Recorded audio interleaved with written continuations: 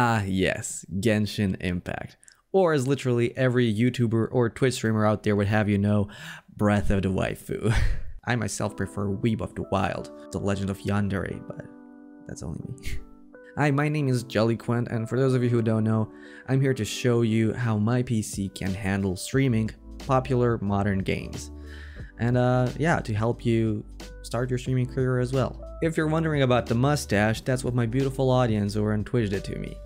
So if you want to join in on the fun, join me at twitch.tv slash jellyquenttv. You can also ask questions about your PC and whether you can stream a game and I will try to the best of my abilities to help you out.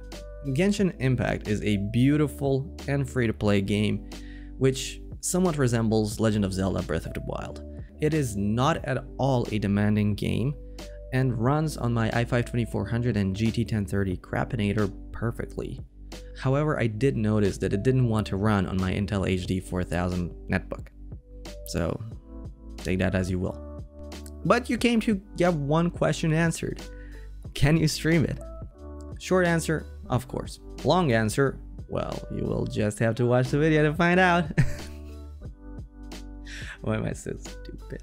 The PC we'll be using to stream the game is our trusty i5-2400 and GT1030 combo PC also known as the Crapinator. The settings we'll be using is of course 720p 30 super fast, my go-to for local PC games, 720p 30 very fast, the one I use while streaming on streaming services, and lastly 720p 60 very fast for giggles.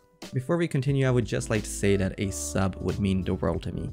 So yeah, if you're interested in more content like this, you know where the button is. Before we launch the game, I would like to show you a small nifty trick. When you're in the launcher, hold shift and click launch. Keep on holding shift until this window appears.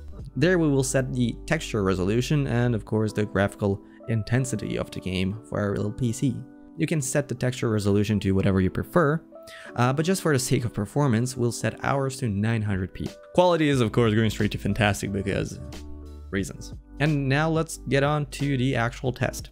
So first up is 720p 30 super fast, which is my go-to preset for any and all local games I'm streaming on this PC.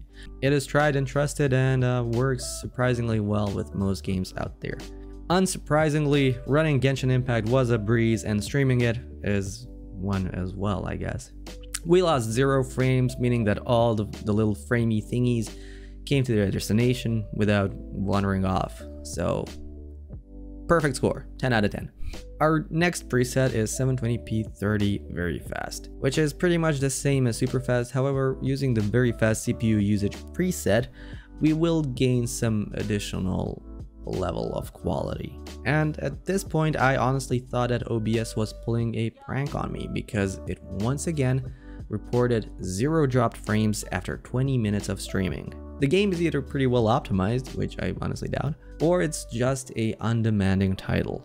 Either way, I'm loving it and uh, we'll probably stream it in the future as well. Now our last option is 720p 60 very fast. And uh, that is just me being dumb at this point. With the success of 720p 30 very fast, dropping 0 frames, I thought, hey, maybe we can keep the CPU usage preset but increase the frame rate. However, that didn't fare too well and we lost a ton of frames, as you can see. 720p 60 very fast, not really recommended for Genshin Impact if you're running on a budget, but would definitely recommend if you have a slightly better CPU than I do. And that's about it. If you would like to support me, you know where the subscribe button is, but if you would like to support me more, follow me on Twitch and join me there to see what other ungodly things I do to my body. You can find me over on twitch.tv slash jellyquenttv. And as always, hope to see you in the next one. Ladies and gentlemen,